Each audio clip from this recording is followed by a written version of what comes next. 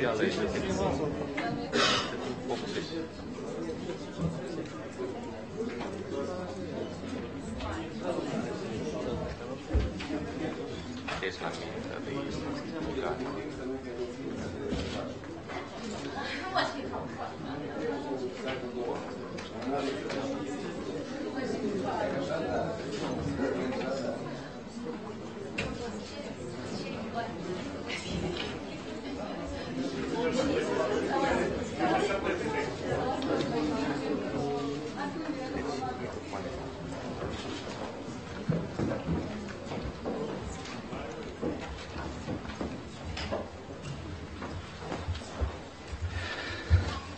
Bună ziua! Domnul Cazan, vă rog să ne spuneți ce prezență avem astăzi. Mulțumesc, stimate domn prim-ministru, stimați membri ai Guvernului. La ședința de astăzi absentează doar doamna Vlah, este prezent domnul Cebotar, ceilalți biniști sunt prezenți. Ședința este deliberativă. Vă mulțumesc. Și eu vă mulțumesc. Înainte de a trece la ordine de zi, vreau să vă aduc aminte că după ședința Guvernului vom avea ședința Comisiei Naționale pentru reintegrarea țării și până a vedea dacă sunt propuneri la ordine de zi, câteva subiecte. Unul foarte proaspăt, am văzut uh, spusele unui domn doctor, o postare pe Facebook, doamna ministru Cebotari, uh, despre unele nereguli în unele spitale uh, municipale. Prin această postare se mm, bine cu acuzații împotriva administrației acelor, acestor spitale și doctorilor, precum că ar fi puse diagnosticuri incorrecte la copii pentru a obține mai mulți bani de la mm, Casa Națională pentru Asigurări Medicale. Am văzut care este și reacția Ministerului, că ați creat o comisie care va investiga acest caz, doar că eu vreau să vă propun altceva. În primul rând, vin cu o chemare pentru toți cei care văd că sunt uh, nereguli, că mm, îmi ridică semne de întrebare și pentru mine, de ce se limitează doar la o postare pe Facebook. În primul rând, toți care văd că sunt nereguli, trebuie să meargă la CNA și la procuratură și să spună despre acest uh, lucru. Și, nu în ultimul rând, trebuie să informeze instituțiile sau autoritățile statului care sunt responsabile de acest uh, domeniu. De aceea eu nu vreau să așteptăm uh, uh, analizele și investigația acestei comisii. Dacă nu s-a adresat domnul doctor, vă rog să faceți lucrul acesta dumneavoastră. Să vă adresați la CNA, la procuratură, astfel încât să vină ei cu o claritate, pentru că dacă s-au făcut asemenea declarații, cu certitudine se cunosc care sunt aceste cazuri, se cunosc care sunt aceste nume care ipotetic ar fi eh, putut să eh, facă asemenea încălcări. Eu personal nu cred că toți doctorii uh, sunt de maniera în care se pretinde a crea niște percepții în societate, pentru că eu am un respect deosebit față de toți cei care lucrează în acest domeniu. Știu că nu este o muncă simplă și în toată această perioadă de timp, chiar dacă nu au fost plătiți pe măsura muncii care o fac ei, oricum au făcut față uh, provocărilor, oricum s-au și-au făcut munca cu multă dedicație. De aceea, în, cu greu îmi vine să cred că, iată, toți doctorii admit asemenea încălcări. De aceea eu vreau să avem o claritate. Dacă s-au făcut uh, și s-au pus diagnosticuri incorrecte, să răspundă penal, dacă să se răspândesc falsuri, atunci la fel avem o problemă. Și lucrul ăsta trebuie să-l faceți chiar astăzi, să nu așteptăm mâine, poi mâine sau termen de o săptămână până când veți veni cu rezultatele acestei uh, investigații. Uh, Domn prim, prim-ministru, dacă îmi permiteți, uh, dați-mi voie să vă informez, Da, vă rog. uh, dați-mi voie să vă aduc la cunoștința dumneavoastră că domnul director uh, al CNA, domnul Bogdan Zubreanu, ieri seara, după ce a apărut postarea domnului doctor Mihai Stratulat pe rețele de socializare, a fost informat Astăzi dimineață, la prima oră, au fost date indicațiile de rigoare, a fost inițiată investigațiile. Uh, Centrul Național Anticorupție va întreprinde toate acțiunile în limitele competenței sale. Deja noi ne-am autosesizat și lucrăm în acest sens. Da, vă Mulțumesc. mulțumesc și vă rog foarte mult. De asemenea manieră și Ministerul trebuie să procedeze fie, de fiecare dată. Ajunge să avem comisii, investigații. Cine a încălcat, cel trebuie să răspundă. Uh, Un alt subiect, la fel care m-a făcut să vin cu el, de fapt, după ce am văzut un, uh, o emisiune la televizor, este vorba de Institutul de Zoologie. Acolo unde a avut loc acel incendiu, acolo unde a ars acoperișul și acum într-o emisiune la televizor, într-un reportaj efectuat, am văzut în ce stare este acest uh, institut, uh, unde angajații sunt în situația să strângă apa uh, de jos, uh, pereții în mucegai, fisuri în tavan și tot așa mai departe. În primul rând, uh, vreau să aduc aminte că acest institut este la balanța Academiei de Științe. După care, din discuțiile pe care le-am avut, 40 de ani de zile, Academia de Științe nu a făcut nimic pentru acest institut. În același timp, în data de 24 mai, noi în regim de urgență am petrecut ședința uh, Comisiei pentru Situații uh, Excepționale și am aprobat alocarea banilor pentru a repara acest acoperiș. Eu mi-aduc aminte cu lux de amănunte de ce a fost urgent, ur- o urgență să întrunim această comisie și am spus că până când în urma investigațiilor vom înțelege cine se face vinovat, noi nu ne putem permite ca ploile să distrugă această clădire în continuare. De aceea alocăm bani din bugetul statului, facem această reparație, după care, când va fi identificat cel vinovat, va restitui cheltuielile pe care le-a suportat uh, statul. Eu înțeleg că avem proceduri birocratice, în același timp este o situație de urgență. De aceea o să rog în continuare Ministerul Educației, dar și Ministerul Economiei, așa cum am vorbit la uh, acea ședință a Comisiei pentru Situații Excepționale, să luați măsurile cât mai rapid, astfel încât să reparăm acoperișul acestei uh, clădiri. În același timp, vreau să-mi spuneți de ce au fost uh, tărăgănate aceste lucrări până acum, dacă avem uh, cumva bariere de ordin uh, birocratic, înseamnă că trebuie să intervenim și să modificăm acest uh, lucru și aici o să rog și Ministerul Finanțelor să vedem care este problema până la urmă. Ori că se anunță concurs, se identifică cel care trebuie să efectueze aceste lucrări. Dacă este uh, așa, atunci în situații de urgență trebuie să procedăm absolut după alte reguli. Și vă rog, nu mai departe decât uh, în ziua de mâine, să avem răspuns la această întrebare și concret să-mi spuneți cine și când vor începe a efectua aceste lucrări. Și un uh, ultim subiect.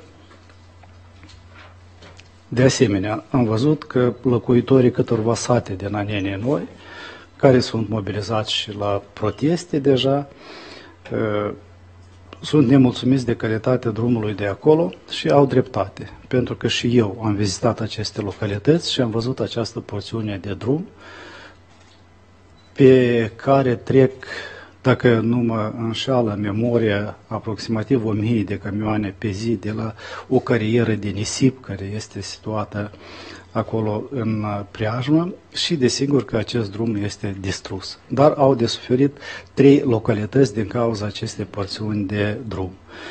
Eu, în primul rând, vreau să primesc uh, explicații de ce atâta timp, pentru că eu am, am dat indicații, uh, expresie după acea vizită, de ce până acum nu s-au făcut uh, niciun fel de lucrări. Doi, noi avem toate instrumentele la îndemână, pentru că nu ar fi avut rost doar să reparăm drumul și în continuare să admitem să treacă camioane supraîncărcate care distrug în continuare acest uh, drum. Dar de data aceasta, domnul ministru Gaborici, vreau să vă uh, documentați ce cu această problemă și uh, să avem un răspuns concret când și din ce resurse vor fi, va fi reparată această porțiune de drum și să luăm toate măsurile astfel încât uh, să se respecte încărcătura uh, acestor camioane care trec, pentru că și inspecțiile de regoare sunt în subordinea noastră. Și acest lucru, iarăși în câteva zile, trebuie să fie foarte clar și să anunțăm ca și oamenii de acolo să cunoască în ce termen vor începe lucrările de reparație acestui drum. Eu mă opresc aici și vă rog dacă sunt propuneri la ordine de zi. Domnul Armașu. Stimate domnule prim-ministru, rog excluderea punctului 10 de pe ordinea de zi pentru consultări suplimentare. Mulțumesc. Alte propuneri? Dacă nu sunt alte propuneri, atunci tradițional începem de la subiectul cadrelor. Doamna Pali, vă rog. Stimate domnule prim-ministru, stimați membri ai Cabinetului de Ministri, în temeiul articolului 11, alineatul 3 din Legea Comunicațiilor Electronice, numărul 241-2007, se propune numirea domnului Octavian Rău în funcție de director al Agenției Naționale pentru Reglementare în Comunicații Electronice și Tehnologia Informației pentru un termen de patru ani. Domnul Octavian Rău are studii juridice, are o experiență profesională în instituții publice, inclusiv pe domeniul comunicației electronice și tehnologiei informației. Posedă uh, limbi de circulație internațională. Rog aprobarea. Stimați colegi, dacă sunt întrebări, dacă nu sunt întrebări, vă aduc felicitări. Domnul Rău și în același timp vreau să aduc în atenția dumneavoastră unele subiecte care au fost uh, uh, atinse de către mine în ședințele precedente, care țin de regulamentele și prevederile licențelor care sunt acordate operatorilor de telefonie. În continuare ne confruntăm cu o acoperire nu tocmai calitativă atunci când vorbim de uh, acoperire cu semnalul 3G sau cu semnalul 4G, dar pe unele porțiuni din drumurile uh, Republicii Moldova nu avem nici semnal 2G, ceea ce ar însemna voce. De aceea, atunci când se vor perfecta în continuare aceste licențe, trebuie să luăm în considerație acoperirea drumurilor naționale, dar nu în proporție procentuală a teritoriului Republicii Moldova. Succes! Doamna Pali, vă rog. În temeiul articolului 6, alineatul 3 din legea 199-2010 cu privire la statutul persoanelor cu funcții de demnitate publică, se propune numirea doamnei Ela Malai în funcția de director general adjunct al Agenției Naționale pentru Siguranța Alimentelor. Doamna Malai este licențiată în agronomie, master în științe economice, deține titlul de doctor în biologie. Are experiență de muncă atât în sectorul public și academic, cât și în sectorul privat. De asemenea, cunoaște limbi de circulație internațională. Rog aprobarea. Stimați colegi, dacă nu sunt întrebări, doamna Malai vă aducem felicitări, vă dorim succese. Este un domeniu unde avem de depus încă mult efort pentru a pune în aplicare în totalitate acordul nostru de liber schimb cu țările membre ale Uniunii Europene. Succese! Următorul subiect din ordine de zi, doamna ministru Cibotare. Mulțumesc, stimate domnule prim-ministru, onorat asistență. Prezint atenției dumneavoastră proiectul uh, hotărârii de guvern uh, cu privire la aprobarea regulamentului sanitar privind gestionarea deșeurilor rezultate din activitatea medicală. Regulamentul sanitar stabilește cerințele privind colectarea separată pe categorii, ambalarea, stocarea temporară, transportarea în cadrul instituțiilor producătoare, tratarea și eliminarea deșeurilor rezultate din activitatea medicală, o atenție deosebită acordându-se deșeurilor periculoase pentru a preveni afectarea stării de sănătate a populației, beneficiarilor și prestatorilor de servicii medicale, precum și contaminarea mediului. El vine să completeze și să dezvolte cadrul normativ existent în domeniul cu cerințe specifice privind planul local de gestionare a deșeurilor medicale, obligațiunile producătorilor de deșeuri, definește tipurile de deșeuri noi, metodele de tratare, securitatea muncii și managementul cazurilor de urgență. Standardele de gestionare a deșeurilor medicale care sunt aplicate în prezent prezent în diverse instituții medico-sanitare din țară prezintă risc și trebuie să fie racordate la cadrul național care trebuie să corespundă în în tocmai cu procedurile internaționale recomandate de Organizația Mondială a Sănătății, dar și prevăzute în prevederile directivelor europene. Regulamentul sanitar a fost elaborat de Ministerul Sănătății, Muncii și Protecției Sociale și a fost avizat de către Ministerele de Resorți, Institutul de Chimie, sindicatele, patronatele, Centrul pentru Dreptul Omului din Moldova. La definitivarea acestuia au fost luate în calcul toate obiecțiile și propunerile parvenite în procedura de avizare. Rog susținerea și aprobarea acestuia. Întrebări dacă sunt, stimați colegi. Dacă nu sunt, doamna ministru, vă rog să continuați. Mulțumesc, stimate domnule prim-ministru, stimați miniștri. Se propune atenției dumneavoastră proiectul hotărârii de guvern privind cerințele minime de securitate și sănătate referitoare la expunerea lucrătorilor la riscuri generate de câmpuri electromagnetice. Proiectul a fost elaborat în contextul tendinței de armonizare a legislației naționale cu cea europeană și are drept scop transpunerea dispozițiilor directivelor Parlamentului European și a Consiliului Europei privind cerințele minime de sănătate și securitate referitoare la expunerea lucrătorilor la riscuri generate de agenți fizici, cum ar fi câmpuri electromagnetice. Potrivit proiectului, angajatorii vor adopta măsuri organizatorice pentru a se asigura că riscurile generate de câmpurile electromagnetice la locul de muncă sunt eliminate sau reduse la minimum. De asemenea, vor fi obligați să evalueze periodic în prealabil, dar și periodic condițiile de securitate și sănătate pentru lucrările care presupun expunerea lucrătorilor la câmpuri electromagnetice. Conform proiectului, angajatorul este obligat să elaboreze și să pună în aplicare un plan de acțiune care cuprinde măsuri tehnice, să organizeze evitarea expunerii care depășesc valorile limite de expunere pentru efecte asupra sănătății, în contextul celor expuse mai sus, menționăm că în prezent nu există act normativ național care să reglementeze domeniul acoperită de proiect. Astfel, adoptarea hotărârii va fi un, de un real folos angajatorilor în activitatea de ameliorare a securității și sănătății lucrătorilor la expunerea la riscuri generate de câmpuri electromagnetice. Proiectul a fost avizat pozitiv de toate instituțiile și de toți partenerii sociali, toate propunerile și obiecțiile relevante au fost luate în considerare, la fel a fost examinat și avizat pozitiv de Comisie de Stat pentru reglementarea activității de întreprinzător. Reieșind din cele expuse, rog susținerea proiectului. Susținem, doamna ministru, nu văd întrebări și prezentați următorul proiect. Mulțumesc, stimate domnule prim-ministru, onorat asistență. Se prezintă spre aprobare proiectul hotărârii Guvernului cu privire la inițierea negocierilor și aprobarea semnării protocolului cu privire la încetarea acordului cu privire la acordarea unor înlesniri suplimentare și a ajutorului material pentru participanții la Marele Război pentru apărarea patriei, lucrătorii din spatele frontului și văduvele de război în legătură cu aniversarea 50 a victoriei în Marele Război pentru apărarea patriei din anii 1941-1945 din 9 decembrie 1994. Proiectul dat a fost elaborat în contextul realizării integrale a angajamentelor asumate în acordul menționat de către părți. Republica Moldova este parte la acest acord din data de 11 august 1995. Prin prezentul proiect de hotărâre de guvern se efectuează procedurile interne necesare pentru aprobarea semnării protocolului menționat în conformitate cu prevederile legii numărul 595 din 24 septembrie 1999 privind tratatele internaționale ale Republicii Moldova și ale regulamentului privind mecanismul de încheiere, aplicare și încetare a tratatelor internaționale aprobat prin hotărâre Guvernului 442 din 17 iulie 2015. Luând în considerație cele expuse, rog respectuos susținerea proiectului. Mulțumesc pentru atenție.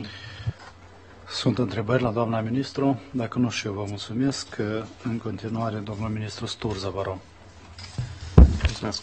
Stimați domnule prim-ministru, stimați colegi, Ministerul Apărării propune spre aprobare proiectul hotărârii de guvern pentru aprobarea proiectului de lege pentru modificare și completarea legii numărul 190 din 8 mai 2003 cu privire la veterani. Proiectul de lege, uh, scopul proiectului de lege constă în asigurarea unor uh, măsuri suplimentare de protecție socială pentru cetățenii Republicii Moldova care au participat la misiuni și operații internaționale, prin includerea în categoriile de beneficiari de alocație nominală pentru merite deosebite față de stat a persoanelor decorate cu cruci, distinție de stat. Amendamentele la prezenta lege se vor, vor intra în vigoare începând cu data de 1 ianuarie 2019. Acest proiect a fost avizat de către toate instituțiile interesate, reînși din cele menționate, rog susținerea proiectului. Susținem, domnul ministru, vă rog să treceți la următorul proiect. Stimate domnule prim-ministru, stimați colegi, se propune atenției dumneavoastră aprobarea proiectului hotărârii Guvernului cu privire la instituția publică Centrul de Pregătire a Specialiștilor și de Suport a Armatei Naționale. Prin proiectul dat se propune reorganizarea întreprinderii de stat Centrul de Pregătire a Specialiștilor pentru Armata Națională în instituția publică Centrul de Pregătire a Specialiștilor și de Suport al Armatei Naționale. Totodată, instituția publică menționată va absorbi întreprinderea de stat combinatul de deservire socială. Transmiterea integrală a patrimoniului la persoana juridică absorbită către persoana juridică absorbantă se va efectua în conformitate cu prevederile regulamentului cu privire la modul de transmitere a bunurilor proprietate publică aprobat în hotărârea Guvernului 901 din 31 a 12 2015. Conform domeniilor de competență propuse, centrul va, va veni în suportul implementării programul Armata Profesionistă 2018-2021, proiectul aprobat pentru dezvoltarea și modernizarea sectorului de apărare a Republicii Moldova, cât și în suportul pentru alte componente ale forțelor armate și a organelor securității statului, fapt ce va permite consolidarea capacității acestora. Proiectul hotărârii Guvernului a fost coordonat și avizat cu toate autoritățile interesate. Propunerile și obiecțiile acestora au fost luate în considerație la definitivarea proiectului propus. În acest context, rog susținerea aprobării proiectului hotărârii Guvernului vizat. Vă mulțumesc. Și eu vă mulțumesc, domnul ministru. Nu văd întrebări. În continuare, domnul ministru Volconovici. Vă mulțumesc. Stimate domnule prim-ministru, stimați membri ai Guvernului, se prezintă spre examinare și aprobare proiectul hotărârii de guvern pentru aprobarea normei sanitar-veterinare privind condițiile de sănătate care reglementează circulația și importul de equidei. Elaborarea prezentului act normativ este impusă de necesitatea stabilirii unor condiții de sănătate și certificare animală la circulația și importul de equidei și vine într-o executare hotărârii Guvernului numărul 14072 din 30 decembrie 2016 cu privire la aprobarea Planului Național de Acțiuni pentru implementarea acordului de asociere Republica Moldova Uniunea Europeană în perioada 2017-2019. Prezentul act normativ transpune prevederile directivei 156 din 2009 a Consiliului European din 30 noiembrie 2009 privind condițiile de sănătate animală care reglementează circulația și importul de echidei, publicat în jurnalul oficial al Uniunii Europene. Aprobarea și implementarea prevederilor prezentei hotărâri va oferi garanții suficiente privind sănătatea și bunăstarea animalelor în cazul circulației și importului de echidei, va preveni răspândirea unor uh, eventuale surse de infecții uh, contagioase la echidei și va asigura protecția teritoriului țării de pătrunderea infecțiilor transfrontaliere și atingerea unui nivel înalt de siguranță și bunăstare a animalelor prin aplicarea condițiilor de sănătate care reglementează circulația și importul de equidei, inclusiv a unor cerințe privind certificarea animală. În contextul celor expuse, rog susținerea proiectului. Vă mulțumesc. Întrebări? Vă mulțumesc, domnul ministru, și treceți la următorul subiect. Vă mulțumesc. Stimate domnule prim-ministru, stimați membri ai Guvernului, se prezintă proiectul hotărârii de Guvern pentru aprobarea regulamentului cu privire la ținerea registrului de stat al animalelor.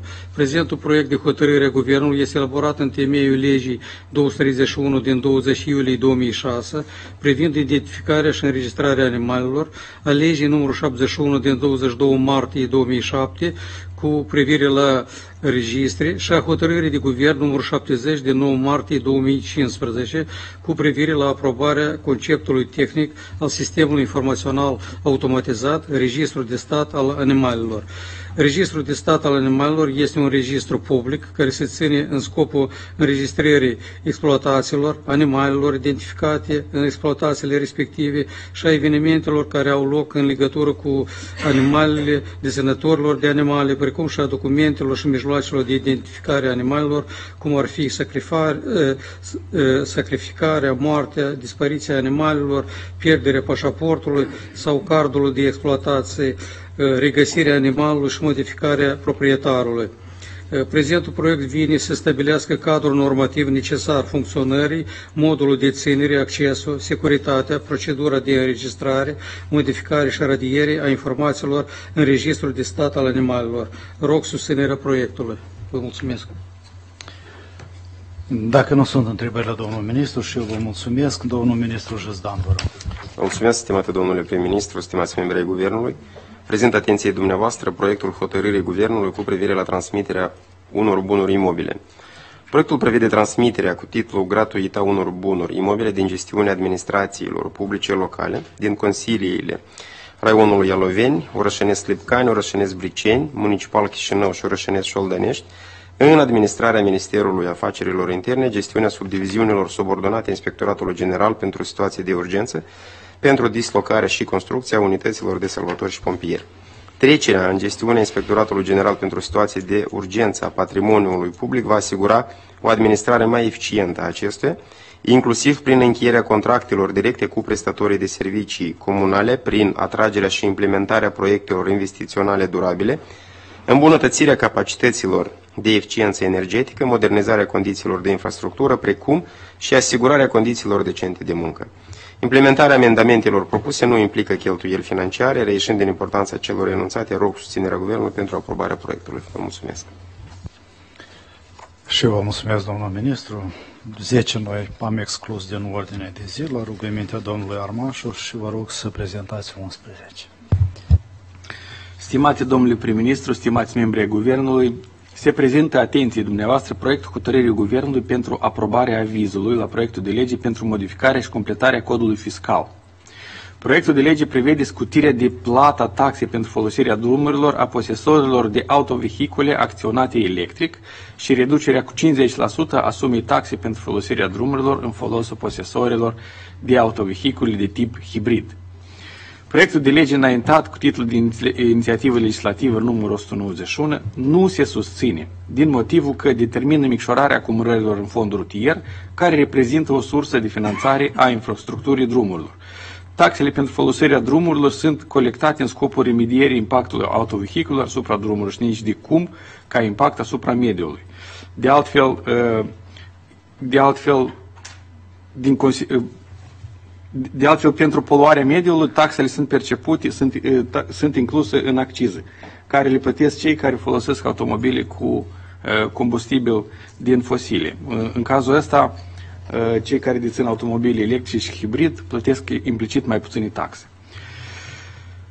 Actualmente, legislația fiscală prevede și alte facilități fiscale pentru stimularea transportului ecologic, în special ce ține taxele la import. Ținând cont de cele menționate, rog susținerea proiectului. Alte păreri, stimați colegi? Dacă suntem cu toți de acord, domnul Armașu, vă rog, următorul subiect. Stimate domnule prim-ministru, stimați membri ai Guvernului, se prezintă atenției dumneavoastră proiectul hotărârii Guvernului pentru aprobarea avizului la proiectul de lege cu privire la modificarea și completarea anexei 1 la codul fiscal, care prevede reducerea cu 50% a cotelor accizelor la combustibil. Proiectul de lege înaintat cu titlul de inițiativă legislativă numărul 206 nu se susține din următoarele considerente. Sursele propuse de acoperire a deficitului bugetar nu sunt reale și nu pot fi considerate plauzibile pentru acceptarea reducerii veniturilor bugetare. Pierderile bugetare de la această reducere sunt foarte mari, ceea ce ulterior ar determina reducerea semnificativă a cheltuielilor guvernamentale, având un impact considerabil asupra dezvoltării social-economice a țării, precum și uh, asupra uh, capacității statului de a menține uh, păturile social vulnerabile. Evoluțiile prețurilor în ultimele 5 ani au fost influențate de mărimea accizelor și de alți factori, în special de evoluția cotațiilor internaționale la produsele petroliere. Nici într-un fel nu sunt legate de nivelul taxelor. De altfel, nivelul taxelor în Republica Moldova uh, este, uh, nu este pe departe uh, mai mare decât în țările din, din regiune. Ținând cont de cele menționate, rog susținerea proiectului. Nu văd alte păreri, de aceea vă rog să mai bucurați odată deputații cu următorul aviz.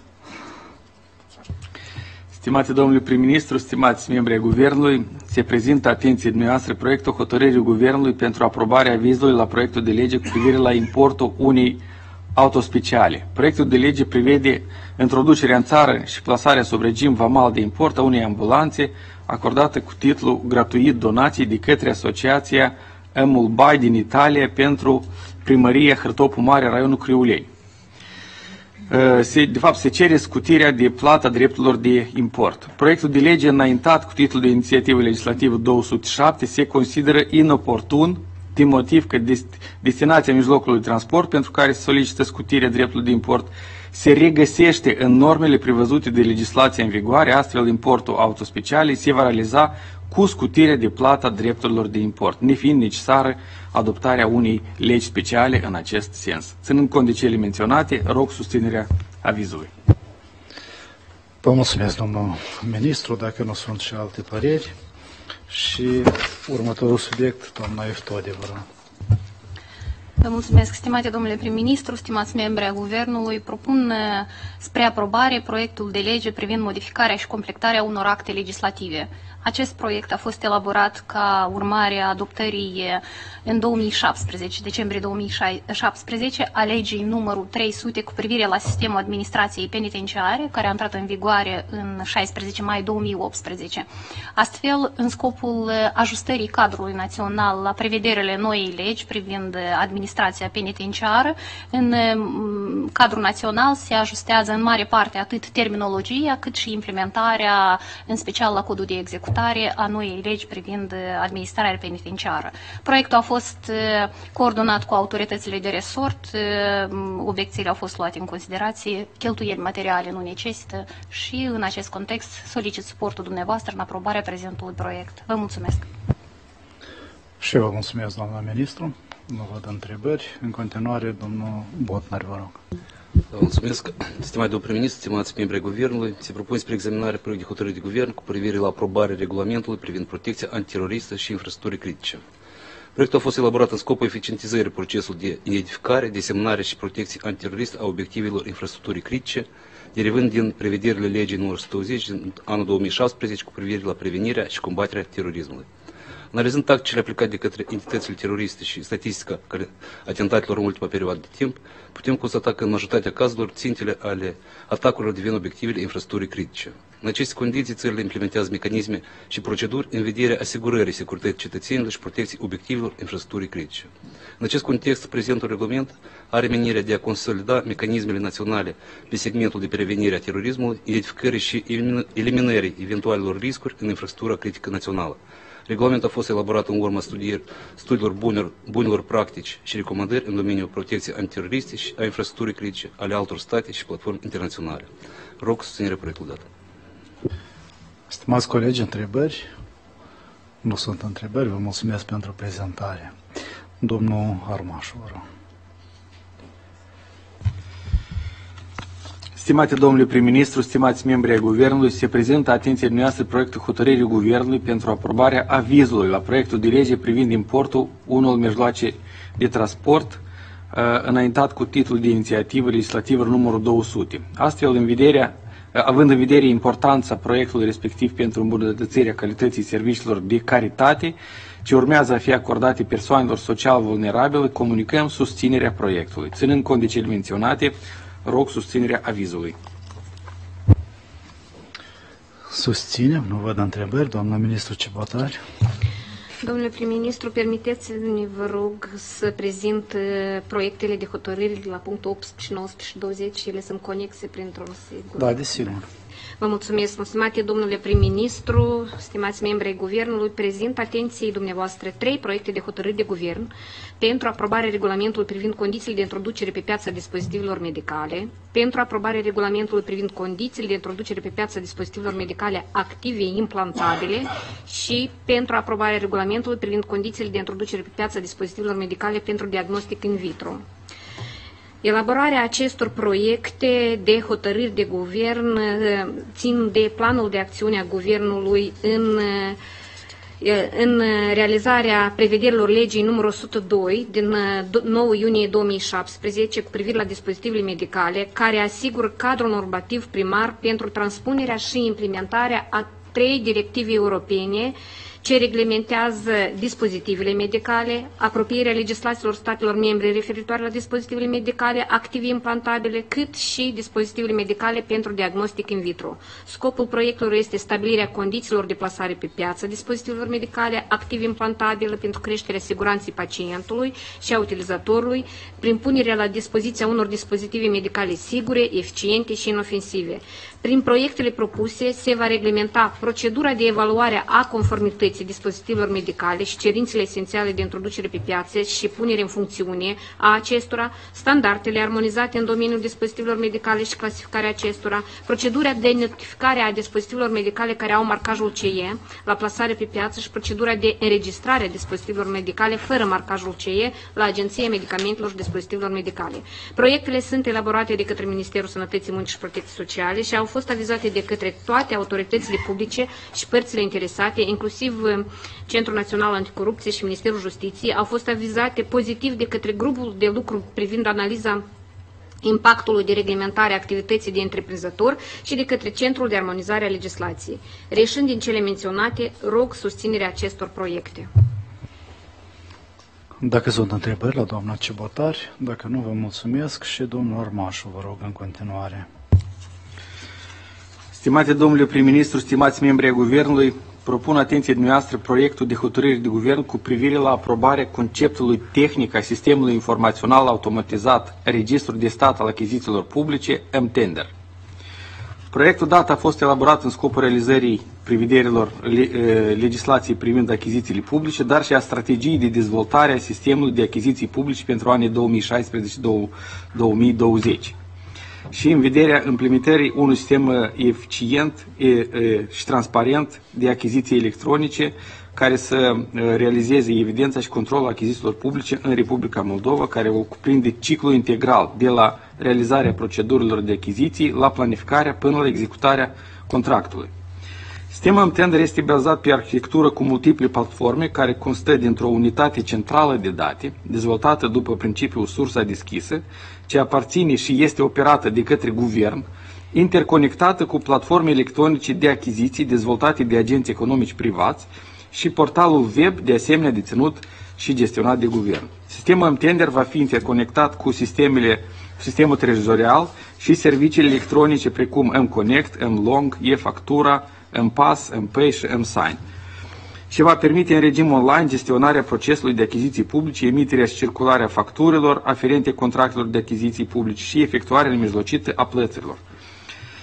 Uh, sistemul a fost pilotat pe un termen mai mult de un an de zile, ceea ce ne-a confirmat că conceptul de a avea o bază centrală uh, și câteva platforme private este unul funcțional și are uh, o, o sumedenie de beneficii, astfel ca rezultat acestei uh, uh, pilotări timp de 18 luni avem peste 1500 de operatori economici care benefol s-au înregistrat în sistem, peste 500 de autorități contractate înregistrate în sistem, numărul mediu participare, de participare la licitație 2,62 per licitație, au fost finalizate achiziții în valoare de peste 16 milioane lei, cu o economie de peste 3 milioane lei, peste 1400 licitații lansate. Vreau aici să, uh, să menționez că uh, sistemul de tender a, a început să fie folosit de către companiile private pentru a lansa propriile achiziții, deoarece sectorul privat a văzut toate beneficiile acestui sistem. Și aici am să aduc câteva exemple. Eurocredit Bank, Moldova Bank, Mobias Bank și alte instituții din, precum și din sectorul real. cum ar fi Vitanta, uh, Starnet și alte, și alte uh, întreprinderi. Proiectul hotărârii guvern prevede că Ministerul Finanțelor, începând cu data lansării utilizării experimentale sistemului tender pentru procedurile de achiziții publice și pentru crearea, cererea ofertelor de prețuri și licitație deschisă CRSAP, conceptul căruia a fost aprobat prin hotărârea Guvernului 355 în 2009, după finalizarea tuturor procedurilor de achiziții publice inițiate până la acel moment, în cadrul căreia vor fi conservate și utilizate doar ca arhivă asigurându-se accesul la informația existentă în sistem. Astfel, datele din sistemul vechi de achiziții publice nu vor fi pierdute și vor, vor uh, deveni publice.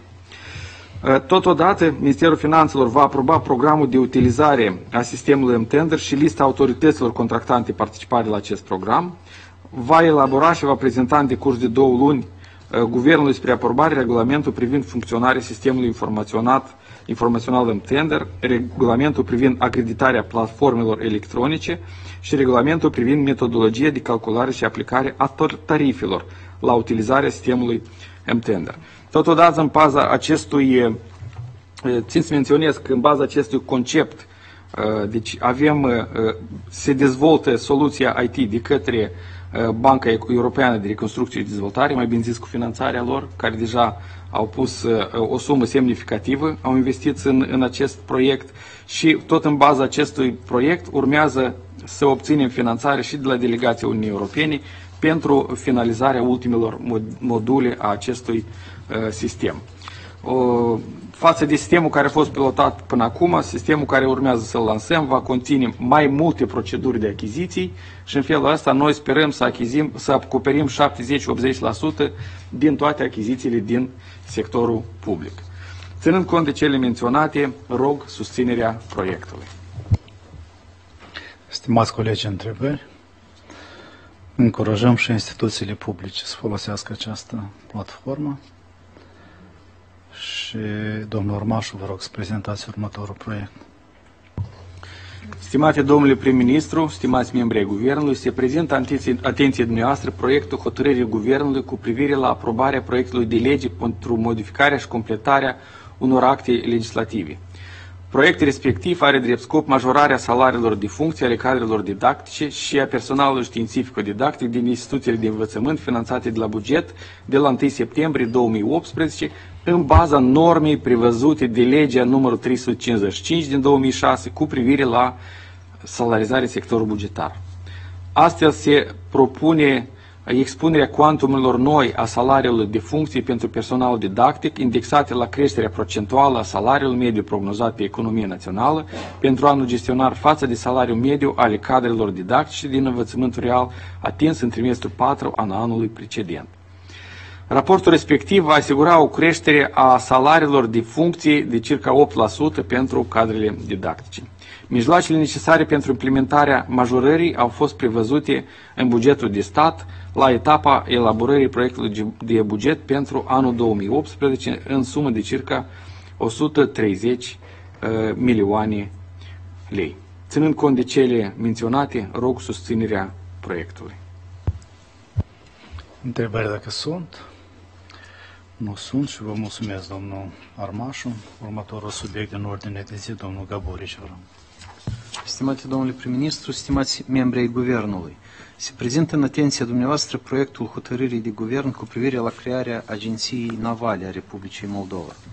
Instituirea Agenției Navale a Republicii Moldova se pliază pe angajamentele asumate odată cu semnarea acordului de asociere Republica Moldova-Uniunea Europeană, în special în ceea ce privește dezvoltarea instituțională și funcțională a autorităților publice, pentru a spori eficiența activității lor, precum și pentru a asigura un proces decizional și de planificare strategică eficient, participativ și transparent în domeniul transportului naval. Agenția Navală va fi un organ specializat care își va desfășura activitatea în baza legislației Republicii Moldova și a prevederilor tratatelor internaționale din domeniul transportului naval. Își va accentua efortul asupra asigurării siguranței și securității navigației maritime, și pe căi navigabile interne, precum și asupra exercitării atribuțiilor de stat pavilion și de stat port. Reieșind din cele expuse, considerăm oportună adoptarea de către Guvern a proiectului hotărârii nominalizate. Rog susținerea prezentului proiect. Dacă sunt întrebări la domnul ministru, dacă nu vă mulțumesc, doamna Babuc, vă rog.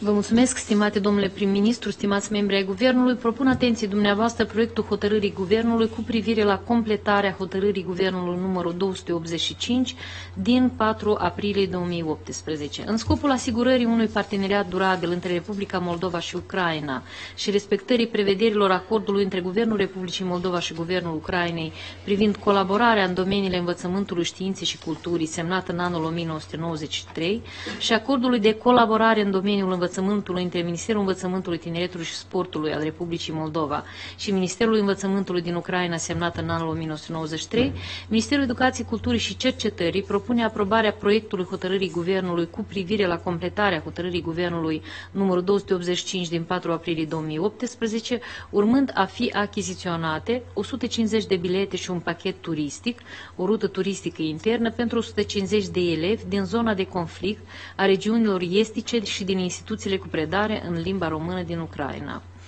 Scopul acestei uh, hotărâri este aprofundarea relațiilor de colaborare dintre Republica Moldova și Ucraina, urmarea întâlnirii dintre prim-ministrii celor două state la 12 aprilie 2018 la Kiev, oferirea suportului în reabilitarea și odihna copiilor din regiunile de est ale Ucrainei și din instituțiile cu predare în limba română din Ucraina, promovarea dialogului intercultural a generațiilor tinere.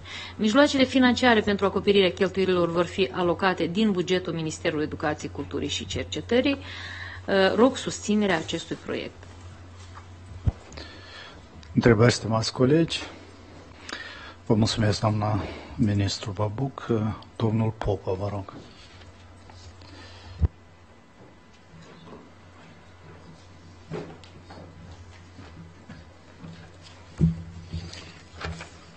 Stimate domnule prim-ministru, stimați membri ai Guvernului, Prezint atenție dumneavoastră proiectul legii pentru modificarea și completarea unor acte legislative și vizează propuneri de amendamente la legea privind dreptul de autor și drepturile conexe și la legea cu privire la Agenția de Stat pentru Proprietatea Intelectuală pe segmentul dreptului de autor și drepturilor conexe. Elaborarea proiectului legii menționate reprezintă o acțiune stabilită în punctul 291 din Planul Național de Acțiuni pentru implementarea acordului de asociere Republica Moldova, Uniunea Europeană, în perioada anilor 2017-2019 și, în esență, reglementările propuse au drept scop următoarele. Armonizarea legislației în domeniul dreptului de autor și drepturilor conexe cu prevederile legislației Uniunii Europene, responsabilizarea părților implicate în procesul de colectare, repartizare și achitare a remunerației compensatorii pentru echipamente concepute pentru realizare de copii sau reproducerea reprografică, reducerea poverii financiare asupra mediului de afaceri implicat pe acest segment, stabilirea unui quantum diferențiat în dependență de modul de funcționalitate pentru echipamente și suporturi materiale ce pot fi utilizate în scopul reproducerii unei opere publicate legal, asigurarea unui nivel adecvat de protecție a intereselor titularilor de dreptului de autor și drepturilor conexe, sporirea gradului de transparență și consolidarea activității organizațiilor de gestiune colectivă prin stabilirea unui mecanism clar de colectare, repartizare și achitare a remunerației de către acestea. Aplicarea reglementărilor propuse nu necesită careva cheltuieli suplimentare din bugetul de stat, Proiectul de lege a fost supus unui șir de consultări și dezbateri publice, atât pe platforma Consiliului Economic pe lângă prim-ministrul Republicii Moldova, cât și în cadrul AGP, cu implicarea reprezentanților organizațiilor de gestiune colectivă, ai sectorului privat, inclusiv și cu titularii de drepturi. Proiectul legii a fost coordonat cu toate autoritățile și instituțiile interesate, observațiile și argumentele în raport cu acestea se regăsesc în tabelul de divergențe. În temeiul celor expuse, rog susținerea dumneavoastră pentru aprobarea proiectului de lege propus pre examinare, care va asigura funcționarea eficientă a sistemului gestiunii colective, precum și va asigura un echilibru dintre drepturile și obligațiile autorilor, pe de o parte, și drepturile și obligațiile mediului de afaceri, pe de altă parte.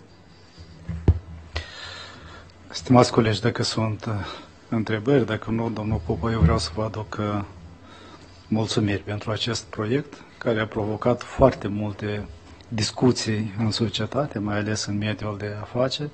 Știu cât de mult s-a muncit până a fost găsit acest numitor comun, pentru că din start uh, a fost o pornire greșită. Cred că luând în considerație că trăim în epoca informațională, acum oricare telefon poate fi perceput ca un, uh, ca un echipament care poate reproduce uh, ori nu, nu cred că există echipament electronic astăzi care nu are un purtător de memorie. Și, într-adevăr, era o povară pe mediul de afaceri, pe de o parte, dar și o confuzie, trebuie să recunoaștem. Mulțumesc și felicitări pentru acest proiect. În continuare, vă rog, domnul ministru Ormoș. Stimate domnule prim-ministru, stimați membri ai Guvernului, se prezintă atenție dumneavoastră proiectul hotărârii Guvernului cu privire la modificarea și completarea hotărârii Guvernului numărul 960 din 7 noiembrie 2017.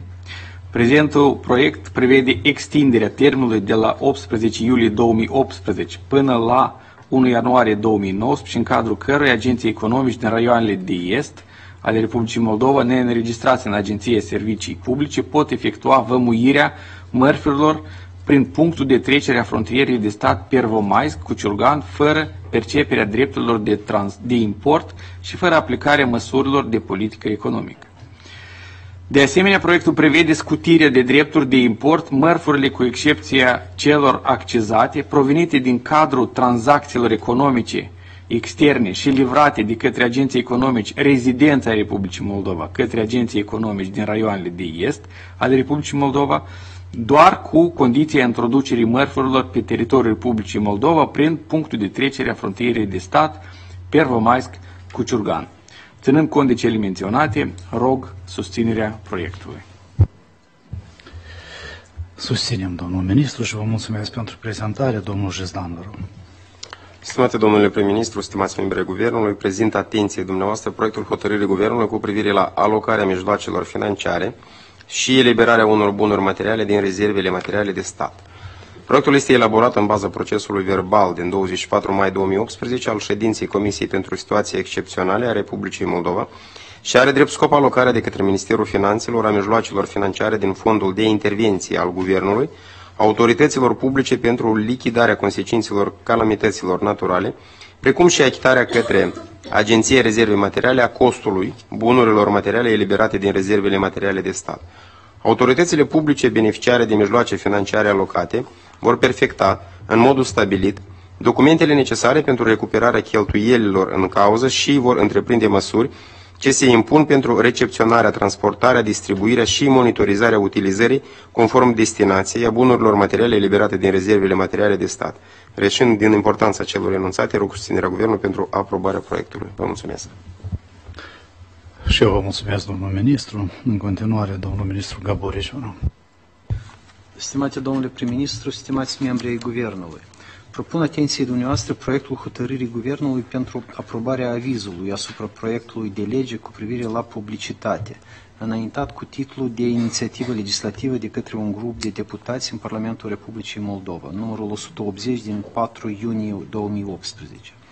Proiectul de lege înaintat are drept scop racordarea legislației naționale în domeniul publicității la rigorile și standardele europene și internaționale, precum și reglementarea unor noi forme de publicitate. Avizul unic al Guvernului pe marginea proiectului de lege a fost întocmit în baza avizilor instituțiilor relevante și întrunește o redacție de compromis cu susținere de principiu a proiectului de lege în condițiile obiecțiilor și a propunerilor de ordin tehnico-legislativ menite de a îmbunătăți proiectul de lege supus avizării. Obiecțiile reflectate în avizul unic al Guvernului vizează asigurarea respectării normelor de tehnică legislativă, precum și normele care în proiectul de lege se dublează sau se suprapun cu legislația, legislația specială în vigoare. Astfel, într-o asigurare a aplicării eficiente și coerente a prevederilor noii legi cu privire la publicitate, autorul urmează să racordeze prevederile proiectului la normele legislative deja existente în vigoare. Proiectul de lege nu prevede anumite cheltuieli financiare suplimentare din bugetul de stat, însă urmează de concretizat de către autor care este rolul final al Consiliului privind mesajele de interes public și dacă acesta va fi sau nu finanțat din bugetul de stat. Reșit din cele relatate, propunem spre aprobare proiectul hotărârii Guvernului pentru aprobarea avizului asupra proiectului de lege cu privire la publicitate. Rog susținerea acestuia. Stimați colegi, dacă sunt întrebări pe marginea acestui aviz, dacă nu sunt, domnul Găburici, vă mulțumesc. Doamna ministru Babuc, vă rog. Vă mulțumesc, stimate domnule prim-ministru, stimați membri ai Guvernului. Propun atenție dumneavoastră proiectul hotărârii de guvern pentru aprobarea avizului la proiectul de lege privind instituirea schemei de investiții în domeniul producției de film și altor opere audiovizuale. Uh, Proiectul de lege privind instituirea schemei de investiții în domeniul producției de film și altor opere uh, audiovizuale este înaintat cu titlul de inițiativă legislativă numărul 179 din 4 iunie 2018 de către un grup de deputați în Parlament, Proiectul de lege va contribui la atragerea investițiilor străine în domeniul producțiilor de film și altor opere audiovizuale realizate pe teritoriul Republicii Moldova și la dezvoltarea cooperării între producătorii dintre, din Republica Moldova și din străinătate pentru realizarea producțiilor de film și altor opere audiovizuale pe teritoriul Republicii Moldova. În linii generale, proiectul presupune alocarea din bugetul de stat a unei sume anuale. Pentru anul 2019, Guvernul propune suma de 10 milioane de lei, bani care vor constitui suport financiar în valoare de 25-30% din totalul cheltuielilor efectuate pe teritoriul Republicii Moldova de către investitorii în proiecte cinematografice și audiovizuale. O astfel de practică este întâlnită la marea majoritate a statelor europene, care își doresc creșterea producțiilor cinematografice interne și atragerea echipelor de filmare din alte state. Concurența regională în materie de scheme de investiții în domeniul producției de film este foarte puternică și fără adoptarea unui mecanism similar vor fi ratate multiple oportunități atractive pentru investitori. Investițiile în cinematografie nu înseamnă numai creșterea know-how-ului și a locurilor de muncă în domeniu, ci ele atrag un lanț întreg de efecte benefice pentru economia națională, cum ar fi cheltuielile echipelor de filmare pentru cazare, transport, închiriere de echipament și utilaj, alimentație, diverse prestări de servicii și așa mai departe. Experiența altor state arată că în cazul existenței unor scheme de investiții similare în cinematografie, fiecare dolar investit în sector poate genera un venit de până la 4 dolari în economia națională în urma efectelor colaterale. Voi menționa de asemenea că acest proiect face parte din uh, strategia națională de reanimare a cinematografiei naționale și presupun că el va avea un efect benefic, la fel precum uh, și deschiderea Centrului Național de Cinematografie acum câțiva ani și prima, primele investiții în acest domeniu. Rog susținerea proiectului.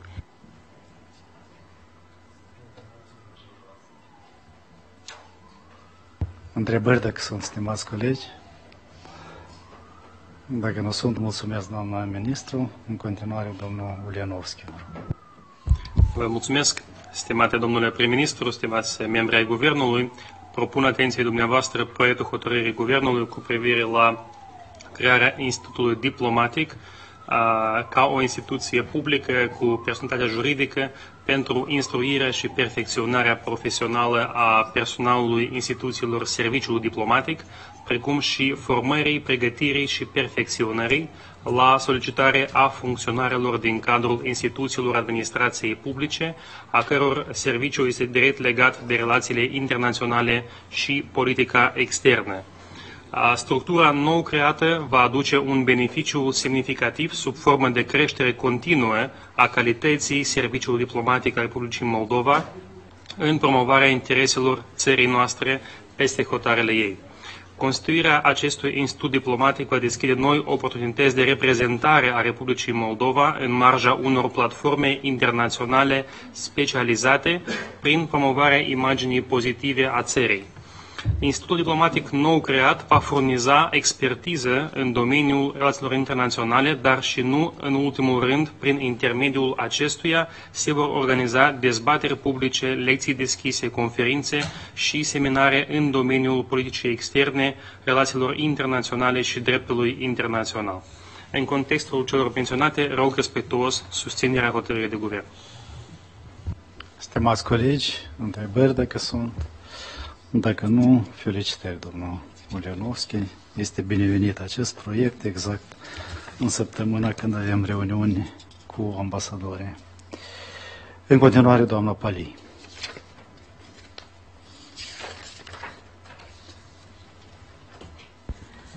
Propun spre examinare proiectul de hotărâre a Guvernului cu privire la transmiterea unor mijloace de transport. Proiectul a fost elaborat la inițiativa Curții Constituționale în conformitate cu prevederile legii privind administrarea și dietizarea proprietății publice și legii cu privire la proprietatea publică a unităților administrativ-teritoriale.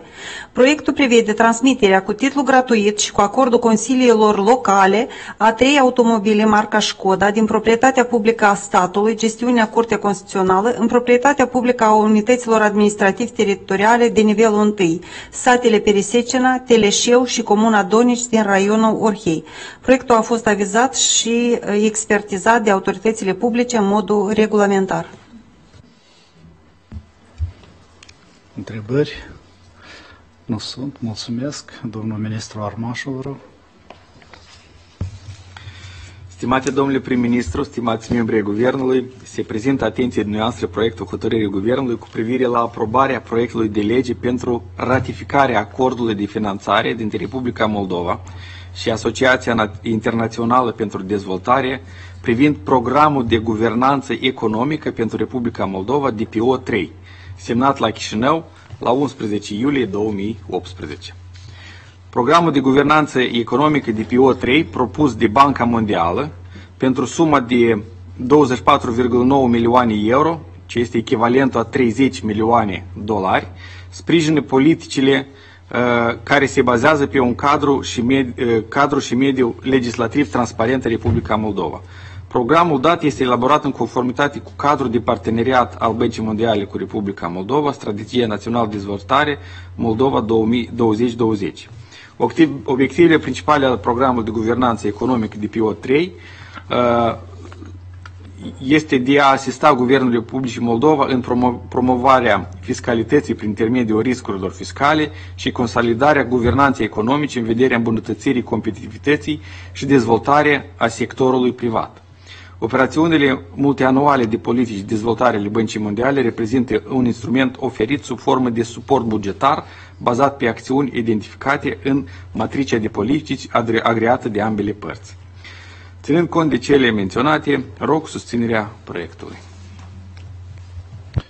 Stimați colegi, nu sunt întrebări, vă mulțumesc, domnul Armașu, și mai aveți un subiect, vă rog să-l prezentați.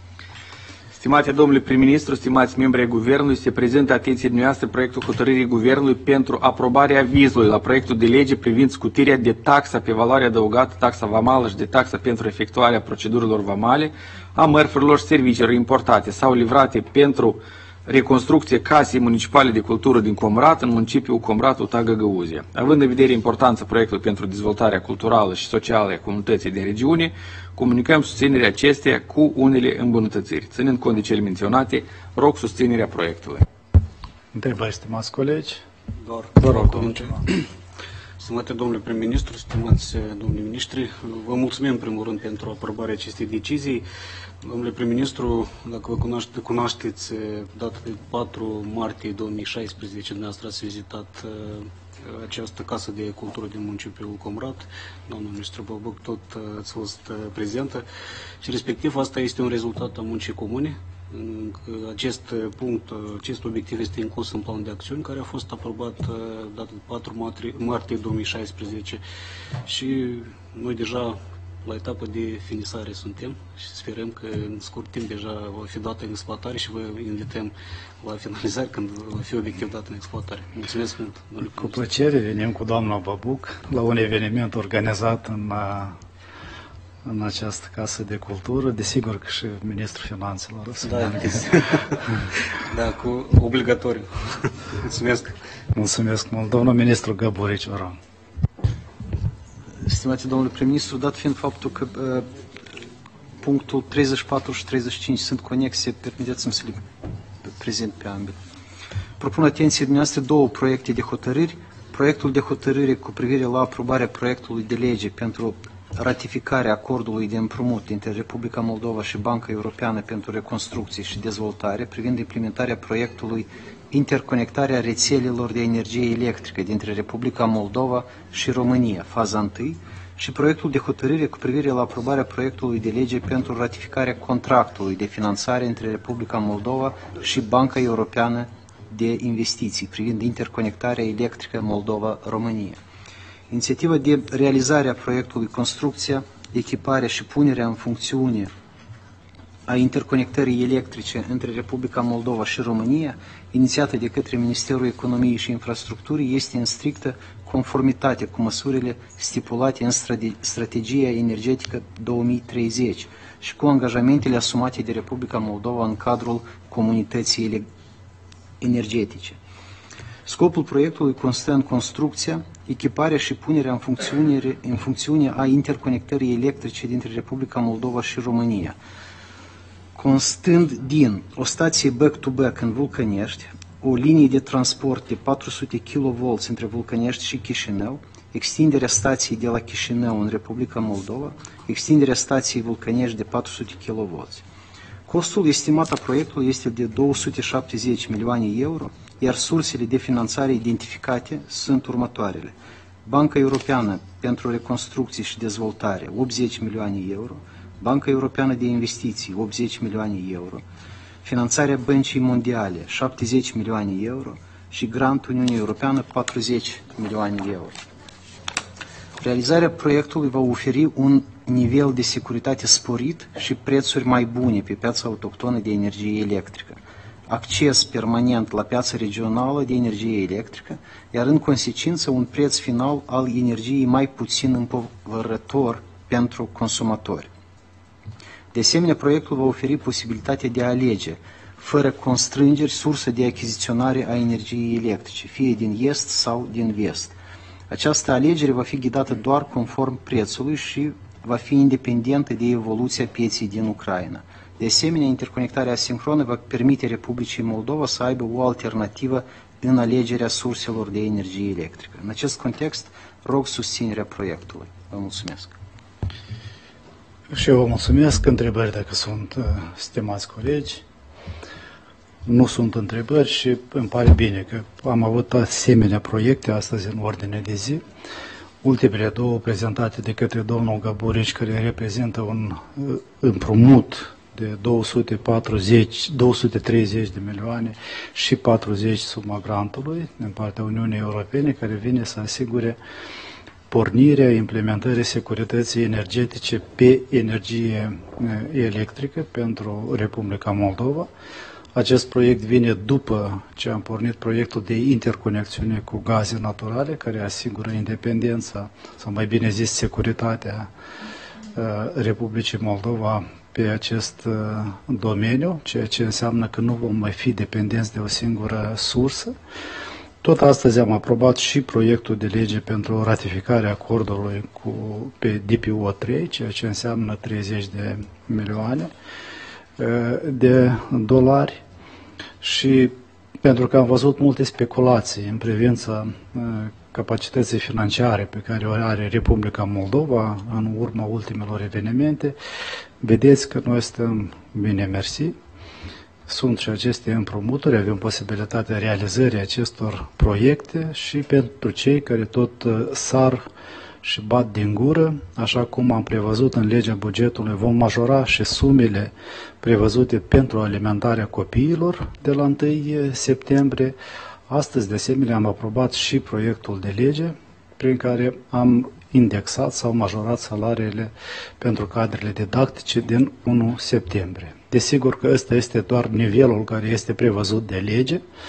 În continuare vom avea posibilități, poate până la sfârșitul anului, să venim și cu alte majorări de uh, salarii. Este foarte important să muncim în continuare, organizat și mobilizat, astfel încât să realizăm programul nostru de guvernare. Noi mai avem un subiect la capitolul secrete și vreau cu permisiunea dumneavoastră să petrecem acum mai întâi ședința Comisiei Naționale pentru Reintegrarea Republicii Moldova, după care vom trece la secrete. Cine nu participă la această ședință, vă mulțumesc pentru participare și în continuare o zi bună.